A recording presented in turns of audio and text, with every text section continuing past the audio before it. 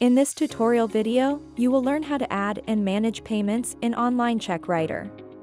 Click this button to create a new payment. Here you can see payment sources and methods. You create payments from a wallet, bank account, cards, or cloud bank. From the wallet and cards, you can send an ACH, wire, or virtual card. From the bank account, you can also create checks, additional to the above options.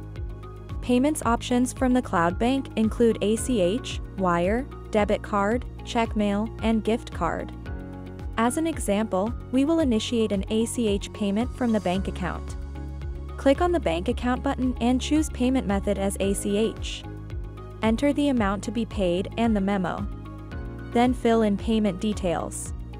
The payment can be processed immediately or be saved for later.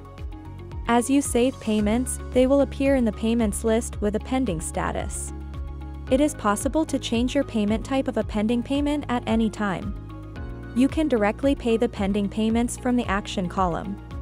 Also, a check can be printed, email, or mailed to your payee from here by selecting it.